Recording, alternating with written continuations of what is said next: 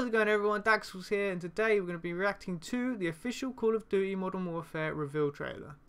I was a big fan of all the Call of Duty games, uh, not the recent ones. Uh, Call of Duty's kind of died out in my gaming scene. I, I did love Call of Duty back in its day. I think the last one I truly loved was Black Ops 2, and then it kind of died from there in my opinion, but in in the end Modern Warfare was the best series of all of the Call of Duty games. But enough of that. Let's get back to the reaction of this trailer. Let's go into it. And away we go.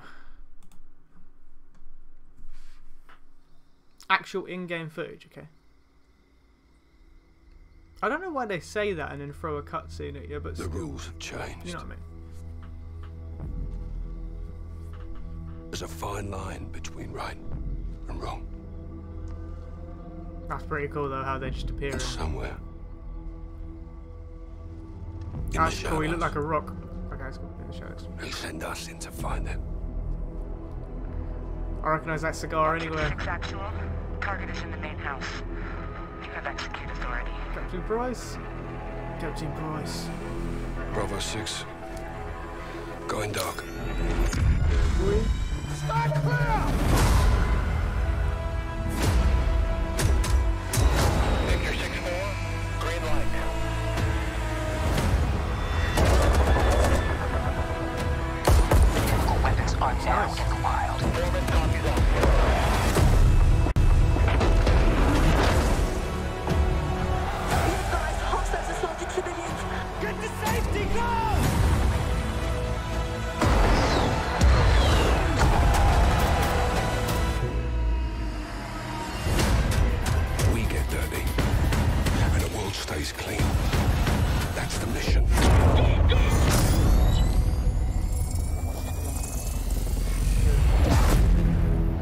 Call of Duty Modern Warfare.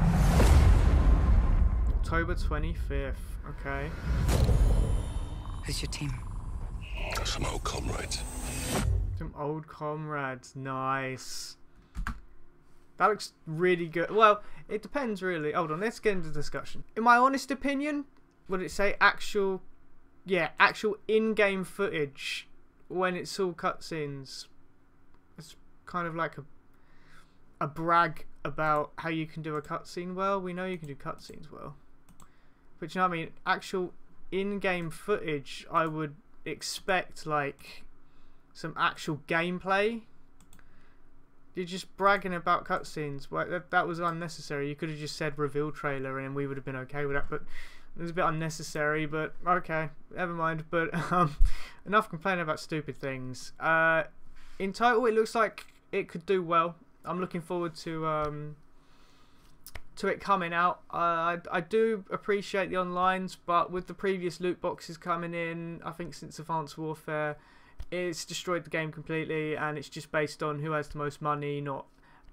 or who sweated out the game the longest. It's it's not balanced in some way at all. And the unattainable levels that they've increased in uh, Call of Duty.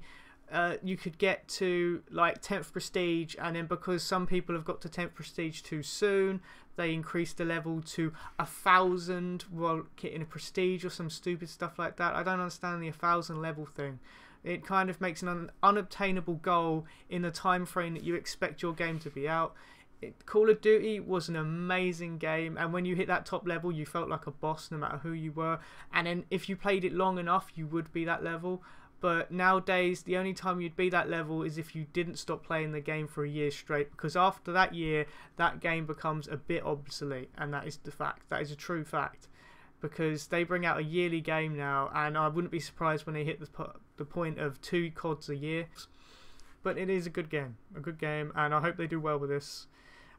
I hope they bring Call of Duty back to where it was. God knows. Well, anyway, if you enjoyed that video, please leave a like, comment what you like me to react to next. You can also check out, if you want to, my gaming channel in the social below in the description. I will see you in the next video. Stay amazing. Laters.